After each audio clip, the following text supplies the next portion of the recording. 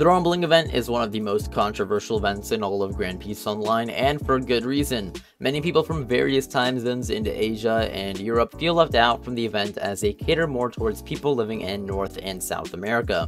They also leave out people with certain fruits like Gura and Zushi who can't hit the Rumbling as much compared to people with Magma or Pika. Now let's be honest, the Rumbling event does have its problems, but it's not all bad as it's a guaranteed rare, and if you beat it quickly, you can have a 16% chance for Logia. Now there are a couple of ways to improve the rumbling to make it just more enjoyable for everyone. First, when Foyu holds a rumbling, he should host two 12 hours apart from each other so that people from other time zones are more likely to join and not feel as left out. Some people might take advantage of this system, but personally, I think the um, the pros outweigh the cons.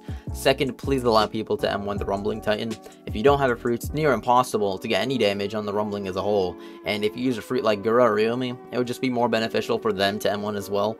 Pika and Magma users would still have an advantage, but they're always going to have an advantage, and it's just impossible to change that. Allowing M1s would just allow people who without a fruit, or people with fruits that don't deal a lot of damage, to stay on equal footing with them. Third, if Boyu gave me Mochi, the enjoyability of the rumbling would exponentially increase. Have a good day wherever you are, I'll see you next time, peace.